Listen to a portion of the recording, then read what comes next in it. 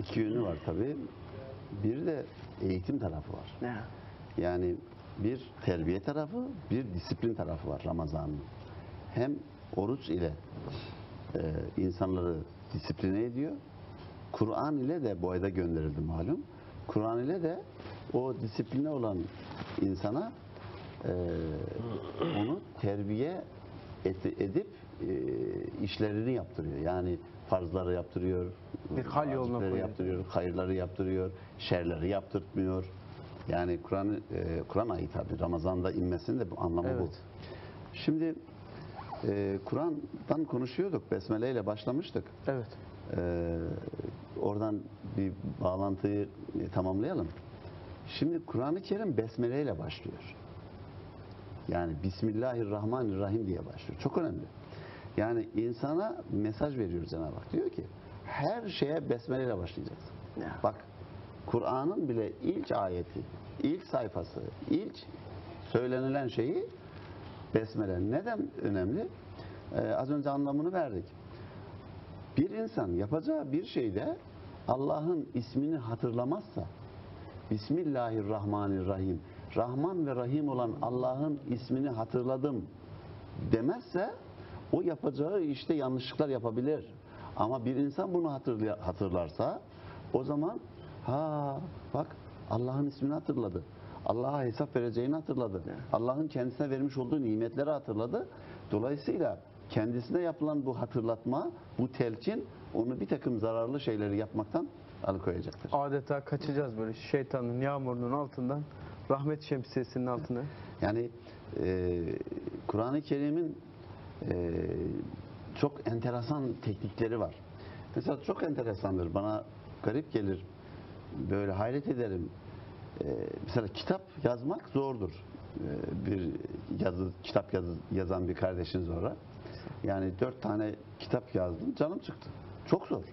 Orasını düzeltiyorsun, burası eksik kaldı, şurası şöyle, burası böyle, doğru söylemen lazım, e, edebi söylemen lazım, cümle e, efendim karışık buruşuk olmaması lazım. Belki biz gideceğiz ama o raflarda Duracak. hizmetine devam edecek. Şimdi mesela e, yazmış olduğumuz bir kitapta bile e, en az 30-40 defa tasih yapılıyor. Evet.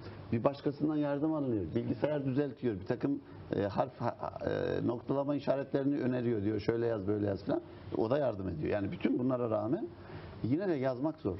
Şimdi Kur'an-ı Kerim e, Al- Allah Teala tarafından peygambere söyletilmiş bir kitap. Yani bir şeyi söylemek yazmaktan zordur. Yani Muhakkak. kusursuz olarak söylemek. Muhakkak. Yani Kur'an-ı Kerim'in mesela gün, el yevm, Arapçada gün demektir. Hocam çok enteresandır. Gün Kur'an'da kaç defa geçiyor biliyor musunuz? 365 defa geçiyor. Allah Allah. Bunu ilk defa duydum. Çok enteresan değil mi? 365 defa. 365 defa tekrar ediliyor. Gün kelimesi. Bir yılda da 365. E, bir yılda da malumunuz e, 365 gün var. var. Yine mesela Muhakkak onun 6 saatini de diyorlar ya hocam. Onu da tamamlayan bir noktası vardır yani muhakkak. Şaşmaz çünkü. mesela ay, ke- ay kelimesi 12 defa geçiyor. Allah Allah. Yani böyle e, şimdi bir anlamı çok derin, iki o anlamlarının e, oluşturduğu kelimeler ile o manayı anlamamıza yardım ediyor. Çok, yani böyle bir teknik olamaz. Yani bu hakikaten Kur'an-ı Kerim tabii biz kesinlikle Allah'ın kelamı olduğuna inanıyoruz da hani inanmayanlar için söylüyorum. Yani Kur'an-ı Kerim Kur'an-ı Kerim gibi bir kitabı hiçbir insan söyleyemez. Bütün üniversiteleri hakikaten toplasak hocam. Ve meydan okuyor. Desek ya bunu yapın ya. Hadi bunu yapın. Hakikaten yapamazsınız ya. Cenab-ı Allah ayette bunu söylüyor biliyor musunuz? Diyor ki fe'tu bi suretin min mislihi. Hadi diyor siz diyorsunuz ya bu Muhammed'in haşa uydurmasıdır diyorsunuz ya. Onlara diyor ki hadi diyor bir mislini getirin. Hadi toplanın. Arkadaşlarınızı toplayın.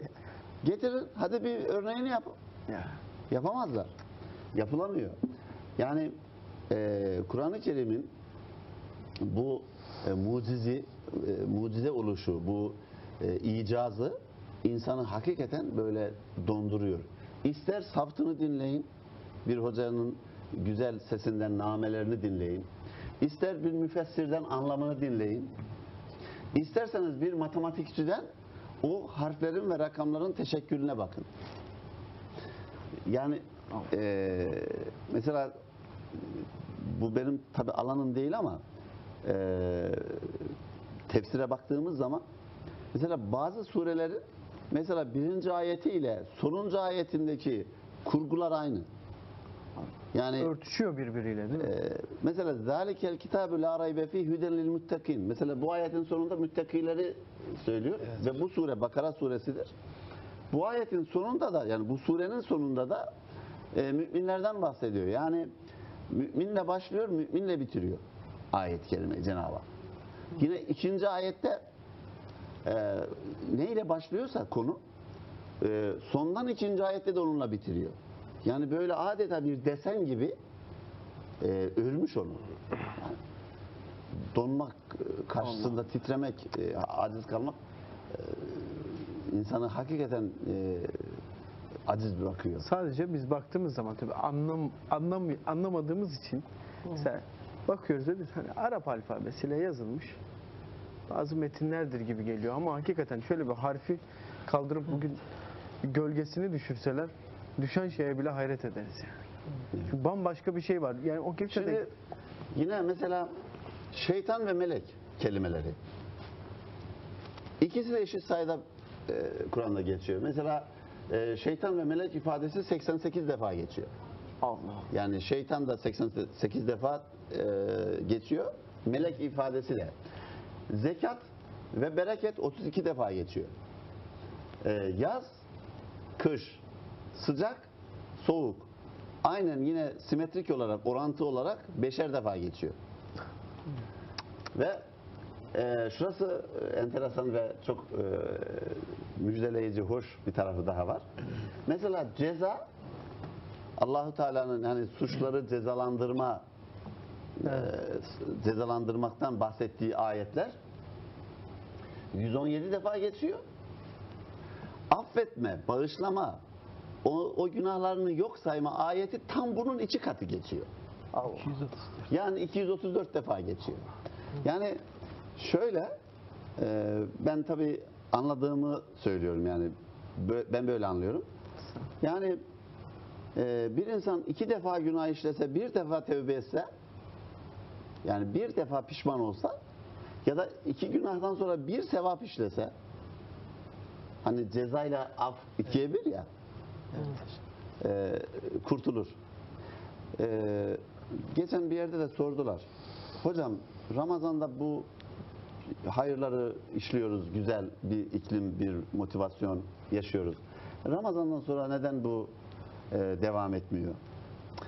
E, şöyle, e, Allah insanı yaratıyor ve yaratmış olduğu bu insanın da unutkan olduğunu, e, günah işlemeye müsait olduğunu e, biliyor. Yani insan unutkandır. Unutkandır. Dolayısıyla hatırlatılması gerekiyor. İnsana hatırlatılması, telkin edilmesi lazım. Mesela bizim tabi eğitimle ilgili e, çalışmalarımızda da ona baktık. Mesela e, yeni doğan bir çocuğa kulağına ezan okunması nedir? Ona e, ilk İslami telkindir, tekliftir. E, bir kulağına e, ezan, bir kulağına kamet. Yani ey insan sen dünyaya geldin. Bu dünya o kadar kısa ki. Ha şimdi bak burada ezanını okuyoruz.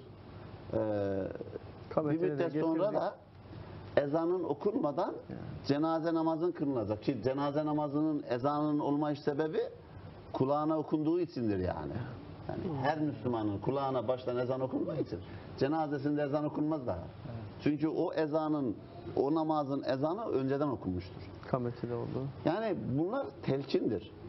Bunlar tekliftir.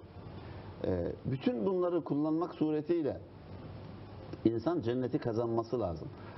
O kadar ki e, fırsatlar veriyor Cenab-ı Hak. Çok fırsat veriyor.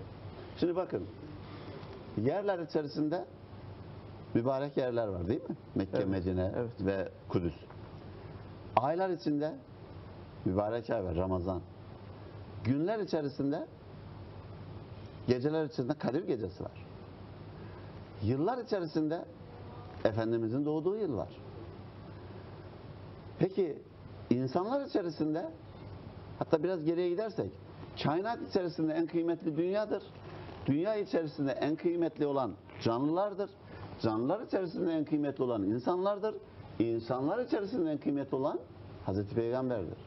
Yani bütün bu şeyler böyle ayrışması böyle e, Cenab-ı Hak bunları böyle bizim e, cenneti, ahireti kazanmamız için adeta fırsatlar fırsatlar olarak önümüze sermiştir. Yani şunu ıskaladın, şunu e, kullan. Şunu yapamadın, şunu yap. Şunu kaçırdın, buna gel. E, bütün bunları kullanmak tabi inşallah bütün Müslümanlara nasip olur ve e. Allah'ın bir ayetinde de buyurduğu gibi rahmetim gazabımı geçti. Rahmetim fazla.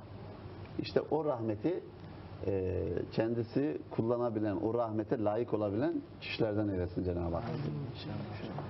E, 23 yılda gönderiliyor Kur'an-ı Kerim. Ha, Böyle biraz teknik e, kelimeler kullanayım. Kur'an-ı Kerim mesela bir günde kitap olarak gönderilmiyor. 23 yılda gönderiliyor. Yani tedricen. Yani adım adım. Ee, yabancı uzmanlar buna step by step diyor. Yani bir merhale bitecek, ondan sonra diğer merhale gelecek. Mesela içkinin e, haram oluşu ayeti böyledir. Yani o zaman insanları e, çok içki içiyorlar.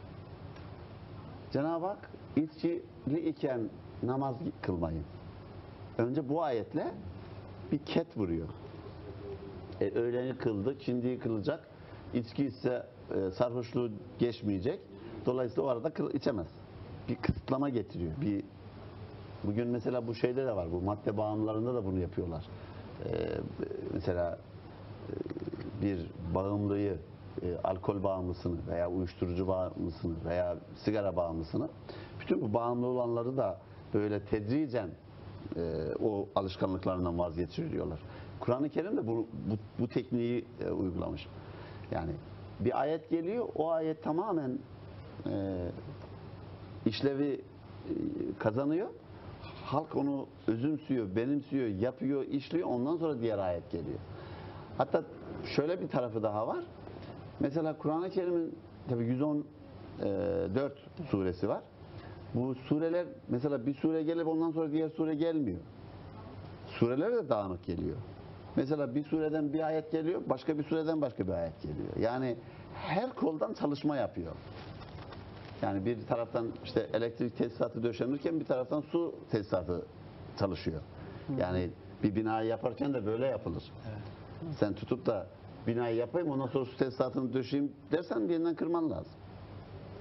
Yani her birisi ayrı koldan ama hepsi birden tamamlanıp bina oluyor.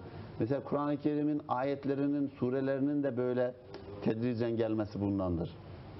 Çünkü bir insan inşa edecek, bir din inşa edilecek, bir millet inşa edilecek, bir e, Muhammed ümmeti inşa edilecek. Tabi bu böyle hemen olmuyor. Mesela ilk dönemlerde e, hacılar hatırlayacaktır. Kabe-i Muazzama'ya kıbleye karşı e, kıblemiz Kabe-i Muazzama değildi. Kudüs'e karşı kılınıyordu. Daha sonra e, Kıbleteyn Mescidine geldiğinde orada ayet geldi. Ey e, Resulüm yüzünü Mescidi Haram kıble e, Aksa'dan Mescidi Haram'a çevir.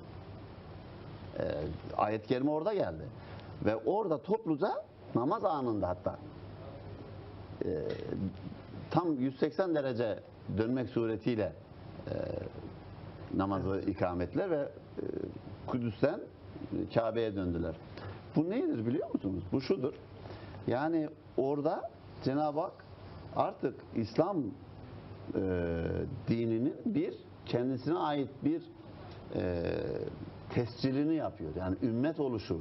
Çünkü Yahudiler de Kabe, e, Mescid-i Aksa'ya dönüyorlardı. Onlardan ayrışması lazım.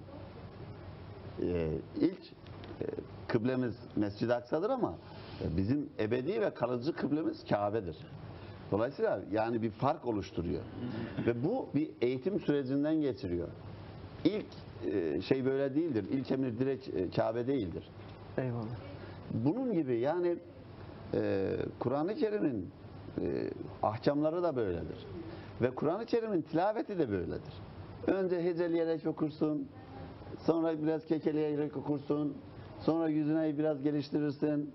Okudukça e, biraz daha okursun. Sonra böyle kıymetli hocalarım gibi e, eğitimler üzerine koymak suretiyle e, bu şekilde bu işi yapmış olur.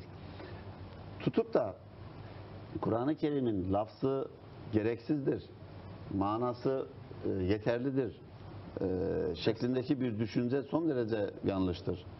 Zira şu bilinmelidir ki Kur'an-ı Kerim hece hece, harf harf, kelime kelime, sure sure, ayet ayet bizzat Cenab-ı Allah'ın kelamıdır. Yani ondan sadır olmuştur. Onun sözleridir. Bizatihi onun sözlerini tekrar etmek bile e, insana verilmiş çok kıymetli bir şereftir. Eyvallah hocam. Allah razı olsun. Ya bugün hakikaten çok kıymetli bilgiler aktardın bize. Sağ olasın. Gönlüne sağlık. Allah hizmetlerinizi daim ve kaim eylesin. Allah tekrar buluşabilmeyi nasip eylesin.